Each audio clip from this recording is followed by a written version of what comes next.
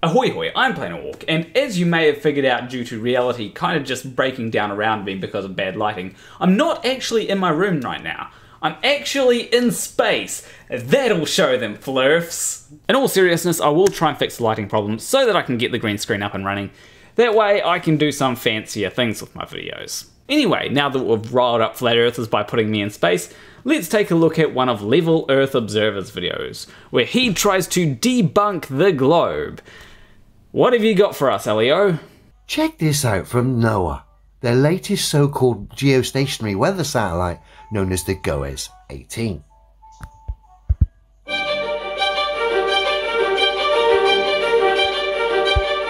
Lads, you blew it already.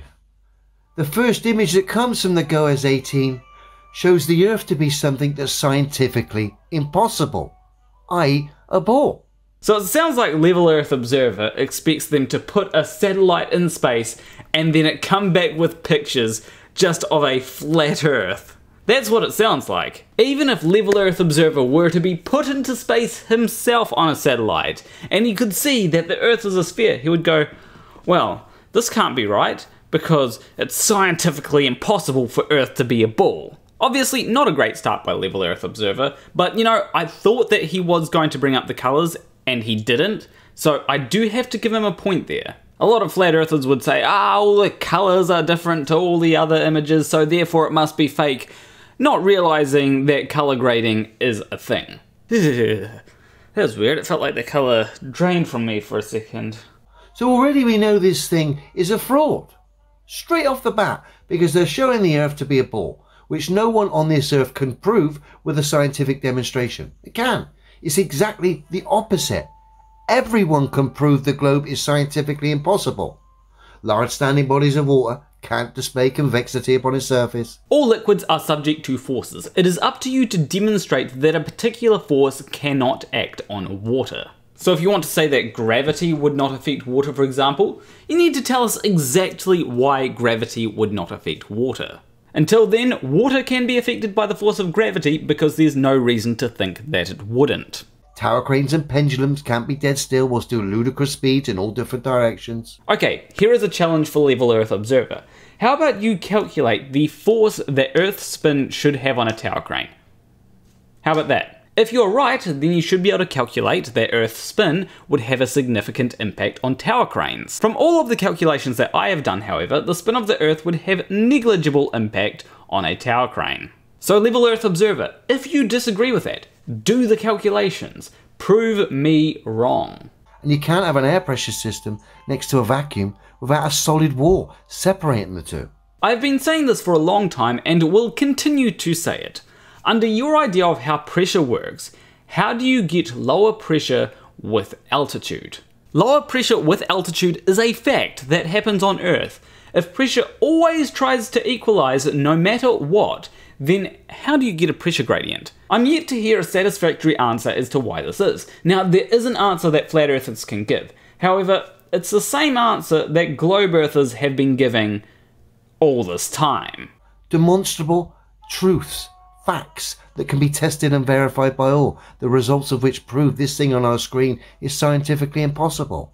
No, Elio, the problem is that you fail to understand how you're supposed to scale these concepts up and down. And that is why calculations exist, because it's very easy to say, well, this thing fast, so anything that go fast must be like this thing.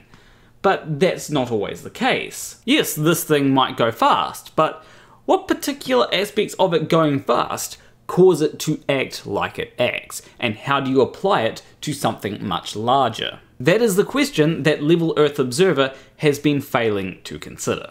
Pinned comment for any practical references from globe believers to refute those three fundamental truths that I've just stated that prove this thing on our screen to be scientifically impossible.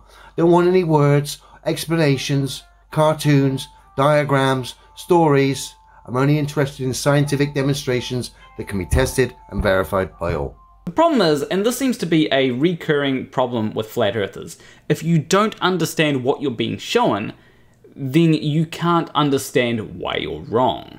And that is why I put some questions to Level Earth Observer, because it's easy to just show something and say you're wrong. But if they don't understand it, do you really expect them to listen to you? Scientific papers, for example, are just full of explanations to help the reader understand what it is they're actually reading.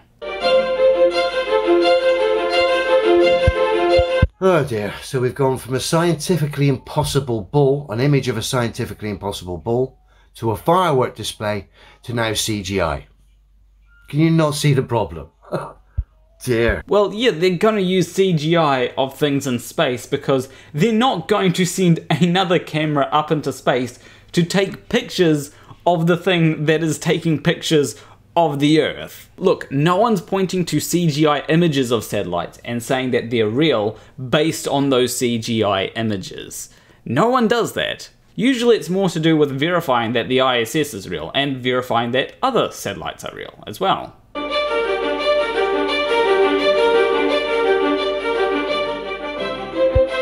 And then we come to this. I'm often cited this kind of stuff from globe believers as proof of satellites. But all this is, is a simulation that's got its data from old technology, as we're about to see. Nothing to do with satellites in space. Well then, you must explain how it manages to get all this information for the entire area that it's covering. This might be fairly easy to do if it was just one state of America, but it's not just one state of America. It's the entire US. And not just that, it's actually almost half the globe. Anyway, explain how they managed to get data for half the globe using old technology that definitely isn't satellites. If you've got a geostationary satellite watching half of the Earth consistently, continuously, then you wouldn't need hundreds upon hundreds of Victorian technology weather balloons, would you? And that is the data that these hundreds of balloons get launched daily. Okay, Leo. First things first, you are never, and I mean never, going to get a job in IT with that kind of attitude. Because there is this concept known as redundancy, and it is very important in things like IT. Just try asking Google, hey, why do you use hard drives, which is an old technology to store information, when you can just use these SSDs that you've got to store information? Why are you using both? And the reason why is because SSDs are pretty good if information needs to be retrieved quickly. When this video initially goes live, YouTube will probably have it stored on an SSD so that it can be retrieved faster. But, you know, give it a year or two and YouTube might go, well, this video doesn't get a whole lot of traffic, so let's just put it on a mechanical hard drive because someone might want to watch it, but it's not going to be needed as quickly. This is where LEO would go, well, if SSDs are faster, then why use mechanical hard drives at all? And this is because mechanical hard drives do cost less for more storage space, but not only that, they last longer than SSDs as well. So yes, hard drives are old technology that's still used, but it's used because it has advantages over newer technology. Newer technology doesn't mean that it's a silver bullet for everything. But let's talk a bit more about redundancy because I've focused more on advantages of old technology compared to newer technologies. But redundancy is a whole other thing. Redundancy essentially means that if a component of something fails for whatever reason, the rest of it can still operate without that. NASA spacecraft, for example, often have four computers on board, all calculating the exact same thing, just in case one of any of these computers gives an error. If you give these computers something to calculate and all four of them agree on the answer, well, then you've got your answer. But if one of them gives an incorrect answer, well, then you've got the other three to go, well, no, that's not correct. So now LEO is probably asking, well, how does this all relate back to weather satellites and stuff? And the answer is, well, let's say that you put a satellite in space, you fancy new satellite, and you decide, okay, we don't need any weather balloons anymore. We've just got our fancy satellite. Then Sephiroth comes along, summons a meteor, and that meteor just completely obliterates your fancy new satellite. In that case, where are you getting your weather data from? It's not coming from the satellite that's been obliterated because it no longer work. It's not coming from your weather balloons because you've decommissioned those. If you leave your weather balloons up there, well, if your satellite gets destroyed, You still got the weather balloons there, so even though it's pretty bad that you've lost a satellite, it's not as bad because you've got a redundancy there. And I would argue that they're not even necessarily a redundancy. Weather balloons will have their own advantages over satellites, and satellites will have their own advantages over weather balloons. It doesn't have to be one or the other, it can be a combination of both. Look at that. $11.7 billion. $11.7 billion for that fraud. A firework display. An image of something that's scientifically impossible. CGI. And then simulations, which the data has obviously come from the hundreds of weather balloons that get released daily. If it all comes from weather balloons, then what did they spend $11 billion on? Did they spend $11 billion upgrading their weather balloon tech? It's an absolute joke and mockery for any of these globe believers and disgusting that they're willing to pay that much money on fraudulent pantomimes like this GOES 18 when millions are suffering. I think, I can't remember the last, I think it was half a million in America alone are homeless the last time I looked. It certainly was a ridiculous figure. So, Elio, I actually agree with you that that is a problem. However, I disagree with you because I don't think that the way to solve that problem is to just stop putting things into space. Maybe one of the solutions to homelessness is to build more high density housing.